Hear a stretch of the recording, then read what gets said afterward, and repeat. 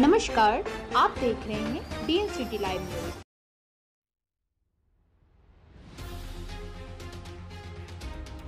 Sahebpur Kamal प्रखंड अंतर्गत भुजंगी उत्सव महाविद्यालय के प्रांगण में साहेबपुर कमाल के वर्तमान विधायक सतानंद संबुद उर्फ़ ललन यादव की धर्मपत्नी श्रीमती चित्रिता यादव को राज्य परिषद सदस्य बनाए जाने को लेकर राजद कार्यकर्ताओं ने मिलन समारोह का आयोजन किया। इस समारोह में विधानसभा क्षेत्र के सैकड़ों कार्यकर्ता की बैठक आयोजित की गई। उपस्थित कार्यकर्ताओं ने कहा कि चित्रिता यादव जी के नेतृत्व में पार्टी और संगठन और मज़बूत होगा। ज्ञात हो कि राज्य प्रतिनिधि बनाए गए चित्रिता यादव बिहार सरकार के पूर्व नगर विकास मंत्री श्री नारायण यादव की पुत्र वधु है और यह भी ज्ञात हो कि लंबे समय से पार्टी में सक्रिय कार्यकर्ता के रूप में काम कर रही है।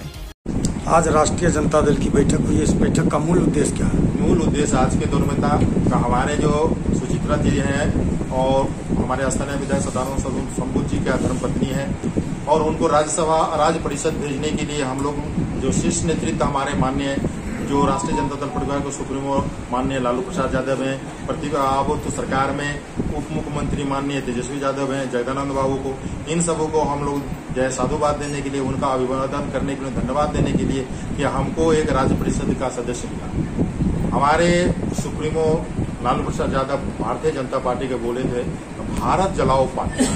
भारतीय जनता पार्टी का नाम काम ही है, भारत जलाओ पार्टी।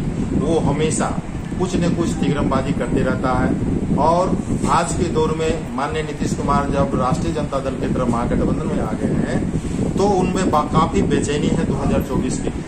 तो 2024 में उनका सारा समीकरण बिगड़ रहा है। इसको मद्देनजर रखते हुए भारतीय जनता पार्टी विभिन्न तरह का हथकंडा अपना रहा है। हम तो देख रहे हैं विपक्ष का हाथ मज़बूत हो रहा है पूरे देश में। भाजपा तो सफाया है उसकी 2024 में।